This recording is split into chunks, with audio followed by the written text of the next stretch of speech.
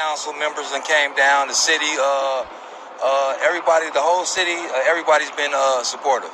So, do you mind me asking where exactly you were that night that the shooting happened? Well, I had just I was talking to Nipsey uh, from the time he got to that parking lot. I was I was out there talking to him. I had just got my food, and uh, I left to the break room to put my food down for a, a, a short minute amount of time, and uh, and that's when the guy came up and shot him. So, when you came back, Nipsey was on the ground, and the guy was uh, breaking up out of there. Wow. You know, so I ran straight to Nipsey and uh and, uh, and held him, make sure he was breathing. Uh, he was still breathing. Uh, he had a, a bullet hole right here. I kept my hand in that right there. He had one right here. He was fighting. He's, he fought. He fought. You know, you can see he was fighting. He, he wasn't trying to go nowhere. He was fighting. He fought the whole way up until the ambulance came and got him. He fought. He's a fighter. And what were you telling him in, the, in those moments that you were holding him and, and making sure he was there? Uh, I was basically just praying, praying, praying, and uh, uh, if his eyes start to roll back a little bit, I say, "Nip, wake up!" And he kind of snapped back out of it. Like he was kind of losing consciousness and coming back.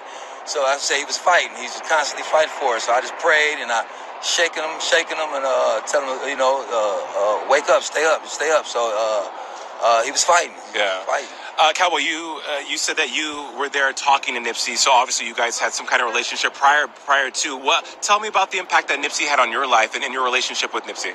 Uh, well, you know, Nipsey, Nipsey, uh, he was a friend, you know, and then at times he was like a dad. He'd give me advice. Uh, you know, I would give him advice, you know. Uh, with us, the whole team, everybody's equal. It was no, it was no big me, little you. Uh, everybody on the team, from the smallest job, I don't care what you did for the team, you got treated. Each uh, Nipsey treated everybody equal. I didn't care what you did. If you was a bum on the street, he didn't care. He would give you his time. You know, uh, if he was working, he would do his work. But uh, if he had time, and he, he would give it to anybody.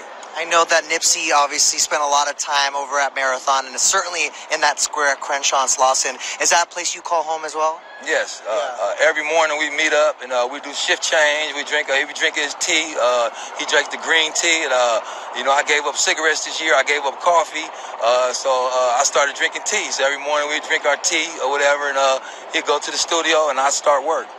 You know, uh, so many of us only know him as this artist, you know, or a community activist. You obviously have a very personal connection to him. What's one thing we'd be surprised to know about Nip, the the, the human, the, your friend? Uh, I mean, this he he was just down to earth. Uh, you know, uh, you know, just his sense of humor. You know what I mean? The way he had fun. You know, they had water fights.